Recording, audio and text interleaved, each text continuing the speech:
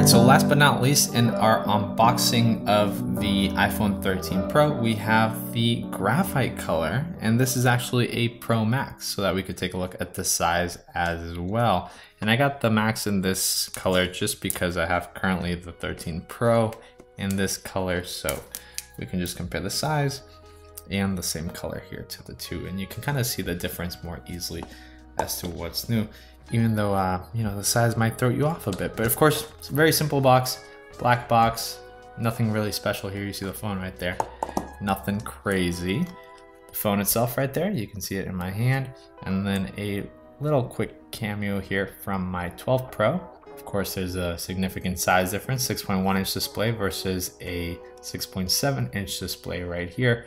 I'm always an advocate to go with the smaller one unless you have huge hands, but that is of course, ultimately up to you. The graphite, same exact color as last year. It is an incredible color. It doesn't have that pearlescence to it. It just looks matte and clean and I really like it. And I think I'm gonna have to return the Sierra Blue and just go back to graphite because as much as I like the color, and of course, if you love the color, that's awesome. I wish I could have loved it, but Apple kind of led me astray there with when they announced it, the things that they showed made it look like a really nice, bright, like this special glowing almost color that I really wanted. But yeah, let's go ahead and boot this up. Of course, we have these stainless steel sides, which are incredible. As I've always said, I'm not a fan of how they feel because they're a little kind of grimy and slimy sometimes, but heck do they protect against everything. Like you can just bump these corners into anything and uh, they'll survive it. So that's kind of the best thing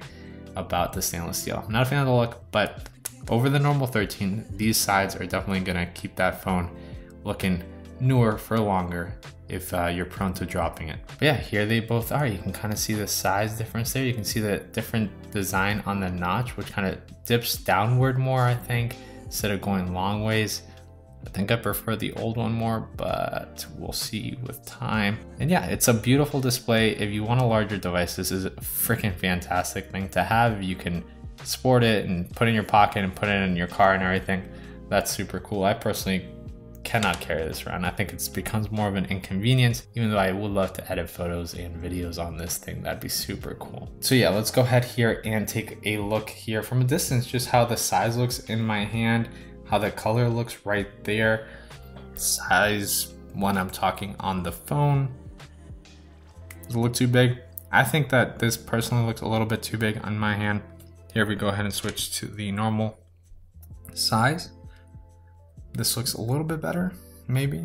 I don't know, just kind of guessing here. Here it is up close, that graphite color. Just a fantastic looking color. I mean, look at that. Looks super, super nice. And then if I'm texting from a distance, there you go. That's how the graphite one looks. So here, let's go ahead and put some cases on that I have here. But yeah, here is a MagSafe case. It's not the official Apple one, but it's just to give you an idea. We'll take a look at that one in a different video. Very nice, but not as nice as all the brighter colors with clear cases. It just doesn't work as well. This device really lends itself to dark cases and um, matte finish cases just because it matches the whole kind of black gray aesthetic. But yeah, that kind of gives you an idea there. Now, just between me and you, don't tell the folks over at the silicone case video that I pre-opened this beforehand so that I could show it to you. But here is this weird color that Apple took out. What's it called? It is called marigold color. And you can kind of see this here with the Max. It looks kind of cool, doesn't it? Yeah. Kind of a neat little color. This is the silicone case, how it looks on it.